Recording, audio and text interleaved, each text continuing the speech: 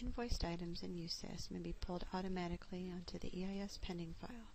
On the second screen of USACON, the equipment inventory system and the EIS pending threshold flags are used to add invoiced items to the EIS pending file. The EIS pending threshold field allows the district to enter the minimum dollar amount an item should meet in order to be pulled into the pending file. If the item amount is less than the threshold, the item will not be pulled into the pending file. The EIS pending threshold amount is usually lower than the EIS capitalization threshold amount set in the EIS debt screen program. The reason being, districts want to track non-capitalized items in EIS 2. Going back to the Equipment Inventory System flag, it has three options. Clicking on the Help key will display the options. N states that the district isn't using EIS. The EIS column on the USAS Web AP Invoice module will not be displayed. Y states it will automatically pull PO items with the 500, 600, or 700 object code and that meets the pending threshold amount onto the pending file. The EIS column on the AP Invoice module will default to yes.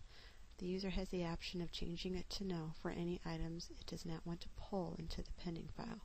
You will notice this in this example that item 1 is a 600 object code and item number 2 is a 500 object code. These both, along with the encumbered amount, which exceeds the pending threshold, will be pulled onto the EIS pending file. A states it will automatically pull PO items with 600 or 700 object codes and that meet the pending threshold amount. The EIS column on the AP invoice module will default to yes for 600 and 700 object codes and no for any other objects. Again, the user has the option to change the value in either to either include or exclude certain items from the pending file. You will notice in my examples here that item 1 is a 600 along with the encumbered amount exceeds the threshold and will be included, but you will notice that item number 2 is a 500. Because I selected A, it will not include any 500. But again, if I choose to include this, I will have to change this to yes. The pending file can be accessed via EIS Screen's Pending program. Pending allows you to view as well as delete items on the pending file. You are not able to add or modify items in this program.